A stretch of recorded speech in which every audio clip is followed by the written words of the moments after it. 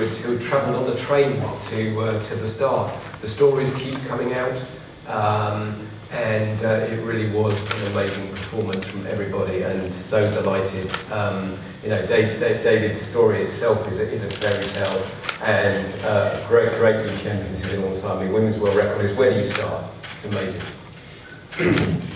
where do you start on yesterday? How do you top that next year?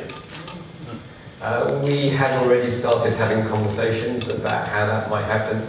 Uh, we're not here to talk about next year. Um, we're here to celebrate um, what was truly uh, uh a stunning day. Um, so uh, yeah, I couldn't be more proud of, of what the team did um, and what the runners alongside me did in terms of their performance, their preparation. Um, just, yeah, really, really proud. The partnership with um, Abbott um, for this series of six races, well, seven races if you take the fact that this is the start this weekend of Series 11 and London next year will be the end of Series 11. I like the way that sort of bookends it and then obviously enables the moving on of the opening race in the following cycle. Abbott have been incredibly important because of the finance they've put in, but the initiative like um, this year, each winner, each champion was uh, given $10,000 to choose to donate to a charity of their choice here in London. So $40,000, that's going to be the case at each World Marathon Major in the Series 7. That's $280,000 from Abbott going towards charities of various choices from the different athletes. And I understand each race can decide the way, the method of that money being distributed yes. the, to the charities. That's just one minor aspect of Abbott's involvement. It, it, it is, and, and I don't want to pick out one charity, but I'm now, now, now going to. Um, uh, so, um, uh, I mean, obviously there's the Weir Archer Academy, um, so uh, um, has done an enormous amount in improving, in improving wheelchair racing through, throughout um, this. But Daniel's charity that he, he, chose, I had never heard of um, until uh, today. And um, that's, that's, the Gathimba Edwards Foundation. Yeah, absolutely. And and it is about uh, young uh, Kenyan children who do not have um, uh, very much and how to really in, um, sort of inspire their life story. And uh, it comes from a meeting of two runners. It comes from a meeting of a uh, at a mile race and a British runner that went to Kenya and a Kenyan runner that was running in Britain. And it's stories like that, that that actually when you go into it, that's that's what the London Marathon is all about. It's about you know charity, it's about giving, it's about togetherness. Um, and you know there was a backdrop yesterday of some of the biggest security fears that we as an event have had to deal with. Um, but but what everyone can see is the togetherness that comes from marathon running and the people that do it. It is such a unique sport in doing that. The everyday people lining up on the start line against the gods of the sport. Um, they all understand how hard and difficult 26.2 miles is, and they are there to help each other um, in spirit, in actions, um, and, and yesterday absolutely showed it. I mean, Manuela Schär's foundation, for the record, is Right to Play. That's her choice, rather, her charity. And Mary, you've chosen, um, uh, Daniel, you've chosen Save the Children. Mary, the Gathimba Edwards Mary, sorry. Yeah. Um, but the charity element is what makes London unique, amongst one or two other things. But it's probably for the 40,000 watching for much of the TV coverage, the main thing that makes it stand out. Yeah, I mean, uh, this year, obviously, our official charity of the year was Heads Together. And the campaign of the Duke and Duchess of Cambridge and Prince Harry and having them there on the day at the start. Um, you know, people didn't know that they were going to be at a Buxton water station at mile 22. There was a cheering point going on at mile 6. Um, they were there giving medals at the finish line. All of this is going on um, in, in, in the background. And actually, probably at the start, no, very few people had an understanding of the huge logistical operation that was going on to make that make that happen. On top of the fact that 40,000 runners happened to be going past 650,000 bottles of water being given out, quarter of a million bottles of Lucozade. It, it truly is a, um, an amazing event um, that, as I say, just gets people together. And um, I am certain we will have beaten the world record for charity one day fundraising. I mean, the world record was 59.4 million. I am certain we will go over 60 million pounds raised for charity uh, yesterday, which will take us to over 800, 890 million pounds since my father and John Disley um, founded this event in, in 1981. And I mean, 890 million pounds for charity, that is just an unbelievable figure. David, the $10,000 that has, you've chosen to have go to the Weir Archer Academy seems like small beer in comparison, but actually that sort of funding for small organisations is absolutely critical. And you must be really proud that you can carry on and continue assisting this legacy of your foundation. Yeah, definitely. Um, you know, um, I had the idea back in 2008. I was at Beijing and I was in the you know, at the warm-up track, getting ready for, for my racing, and um, I sat there and saw the, the, the GB wheelchair racing squad, and there was um, seven of us. And then I saw lots of teams coming in, you know, some of the teams that don't get any money, you know, like Thailand and, and, and small countries, and they have like 10, 12 wheelchair races. So I sat there and, and, and thought, well, there's something going wrong. You just told me backstage after your fabulous win yesterday. Um, when you woke up this morning, what was the first thing in your mind?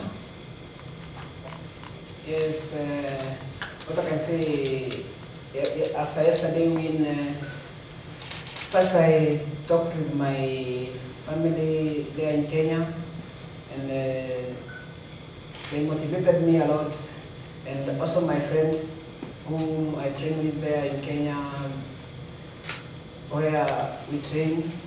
So everybody in Kenya first was very happy, and also my friends from many years very. And uh, after yesterday release, I felt good tonight, so I was in good sleep tonight. So and uh, in the morning, after waking up, and uh, I was somehow nervous for what will happen uh, when I go back to Kenya. So that that was the thing which came in my mind in the morning, and I was to call the wife in Kenya, and she told me that uh, everything will be okay. So we are waiting you here home. So if you come, we'll do a celebration normally. What, what will the celebration be? Lots of family and friends coming to the house, or? Yes, it happened like this. Uh, my friends, my training mates. So I try to invite them and uh, we, so that we can encourage each other in learning and doing other things uh, like that. Is it, is it one of these situations where you will invite 100 people and 500 will, will turn up? no, you know, in Kenya, it, it, can happen like this. Like now, maybe they can be waiting for me in, in the airport so because of because of the celebration of my winning here. So I expect anything to happen in Kenya. So and I will be very happy for that. So you don't know what to expect when you land, when you get off the plane? Yes, uh, in my mind, uh, something is coming, but uh, I'm not sure of, uh, but I expect something good in Kenya, so anything can happen, I can say. And what will you do now? I mean, did you, do you plan a holiday with the family? Do you just go back and have a very quiet week at home before training again? Yes, uh, after this race, I try to have a rest for some days or, or one week or I will plan. Eh? And uh, then I will try to come back in training uh, to, to feel the body the way it will respond. And then from there I will try to plan my next race. Speaking about your, your racing, let's look, talk about yesterday for a little while. I thought you ran a spectacularly intelligent race. You kicked hard over that last 10k, you eased away, and then when you were in trouble, it looked like we all thought, we were all convinced that um, uh, Kenenisa would catch you. He, he got within six seconds near Big Ben, and you had a couple of looks around, and you accelerated and he never got a sniff, he never got close. That must have been very, very, a, a little worrying for you, but it must have been very satisfying when you realised he was not going to close the gap. Yeah, to me, I was expecting anybody can come from behind, so I am well prepared uh, because uh, when we were starting the race, I had uh, good confidence, even uh, during starting. And during the race, I tried to control my feelings in the race.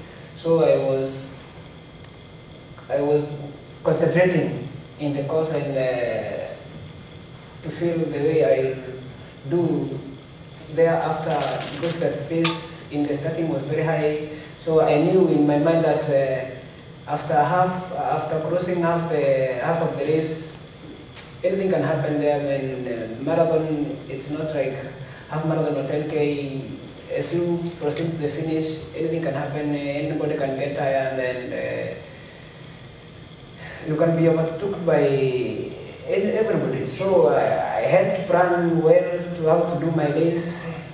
Yeah, I was aware that anybody can come, so I had to look behind a bit so that I can have a plan the way I can finish my race yesterday. Yes. Well, it was brilliantly thought out and brilliantly executed, Daniel, so congratulations. Um, Mary, yours wasn't really a race, it was more of a time trial. You know, uh, I think after the first uh, few hundred metres you hardly saw anybody else, did you? It was a very, very brave effort, and I think many, many people who know the sport thought you had overcooked it. You'd gone out a little too hard, especially when we saw that halfway time under 67 minutes, which in itself is kind of a world record during a marathon. Um, but you again, you ran so strongly, so bravely. Um, do you think there's more to come?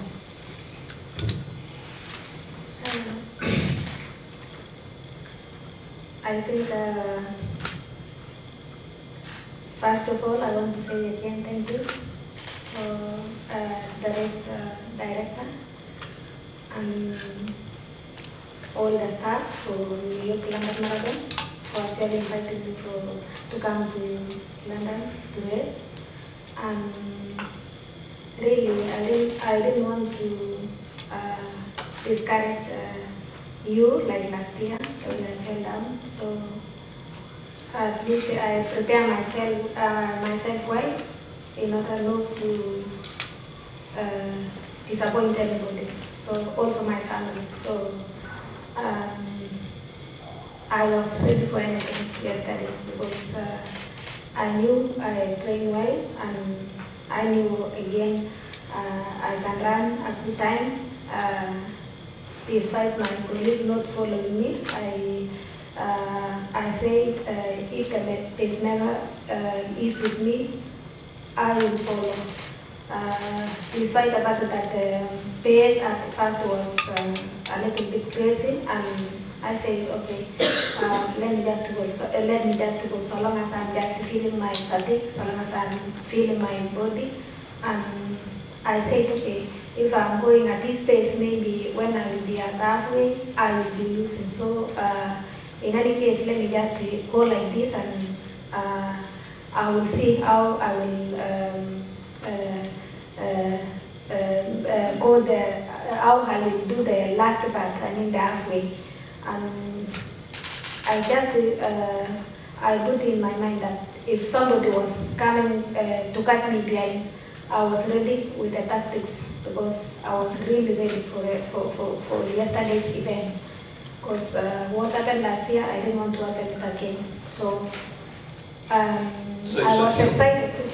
Your motivations, your, your reason for running that way was partly the fall last year when there was a group. Yeah. Presumably, the frustration and disappointment of not being selected for Rio was also giving you a bit of extra motivation. Yeah. But I saw you talking to um, Caroline, the pacemaker, in the first half. What, what were you saying to her? Were you saying faster, faster, or we're both nuts, we're going too fast, or what were you saying? Okay, uh, when I was talking to Caroline, first of all, I was asking her to, uh, I talk uh, to her earlier before even halfway because I was uh, worried she'd never pick any water at the stations. So I told uh, Caroline, uh, maybe you can take water. She said, I'm okay. And then after halfway, um, I was telling, I was asking her how she feels. So she was saying, maybe can I stop? I told her, "Eh, maybe if you still have a, little energy, we, we can still uh, go with you. And then at 14 mile, uh, it was dropping. So uh, for her, we did a good job. Uh, although it was fast for her to run half marathon like that, but I really appreciate it. I thank her so much. And again, I, I said, okay, because I've just remained alone, let me just focus, um, also lit- listen to my body and fatigue, and I was okay. Mary, you're, you're more than 10 years older than Daniel. Your trophy cabinet at home must be getting a little big, a little swelling. Uh, maybe you've got shelves that are collapsing under the weight of the trophies. It's- It must be a very familiar scenario to you now. You get back to Kenya, you've won New York, you've won London. This has been happening, it's becoming a habit.